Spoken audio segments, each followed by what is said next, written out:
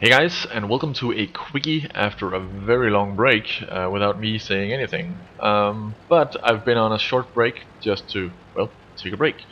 And uh, But I have been playing a lot, so I've got plenty of videos and uh, games to show and, uh, and tips videos to make in the, uh, the holidays. but right now I want to show you a game against the two type uh, uh, T28s, the prototype and the, the just the, the T28. They're in a platoon and I'm the only one left.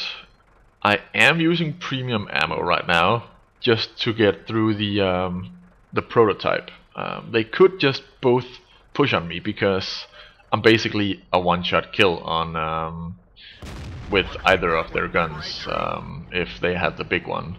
Um, I don't think they do, but they should just push on me instead of sitting back. And you can see premium ammo didn't help me right there, so um, and he's oh okay hit him in the front. He's not pushing.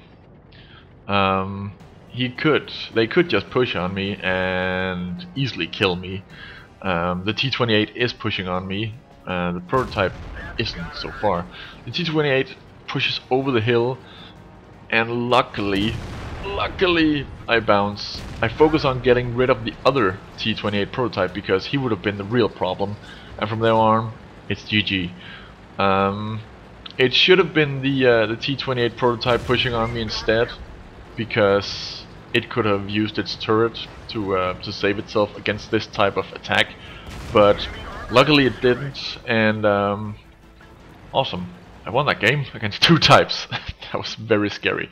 I was really shaken at this point, so I was really lucky that um, my brain was thinking, go for the one with the turret first, the one in the back, because he's the real problem.